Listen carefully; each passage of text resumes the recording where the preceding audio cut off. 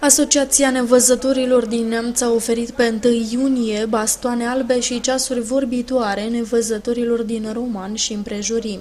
Dispozitivele au fost achiziționate cu sprijinul Consiliului Județean Neamț și vor ajunge, în limita stocului disponibil, la nemțenii cu grave probleme de vedere. După ce au primit bastoanele albe, nevăzătorii au trecut strada, indiferent de culoarea roșie sau verde a semaforului, dar și prin locuri nemarcate, pentru ca și conducătorii auto să fie mai atenți.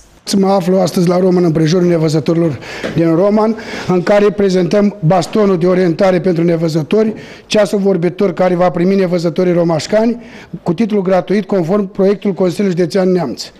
Vom face o demonstrație în stradă pentru prevenirea accidentelor în trafic a nevăzătorilor cu poliția rutieră din municipiul Roman.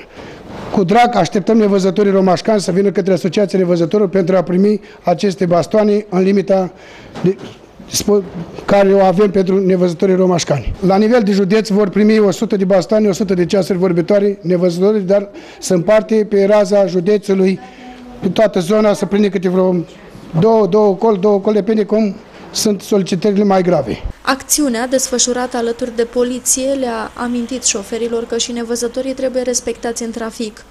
Comparativ cu alții ani, de această dată șoferii au oprit mașinile la semnalul nevăzătorilor, cel în care ei ridică bastonul alb la trecerile de pietoni. El trebuie să-l opriți, să-l întrebați. Dacă știi ce înseamnă codul bastonul alb. Aici este o acțiune pentru prevenirea accidentelor în trafic a Roma, conform proiectul Consiliului Județean pentru bastoanele care ne-au oferit. Eram obligat să facem acțiunea asta pentru prevenirea accidentelor. Și să dăm, nu?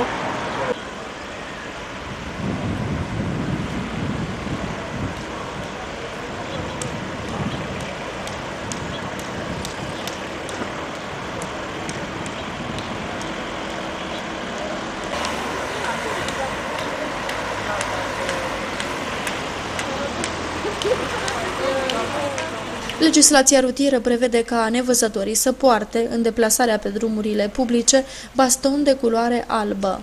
Pe 15 octombrie se sărbătorește Ziua Internațională a Bastonului Alb sau Ziua Internațională a Nevăzătorilor.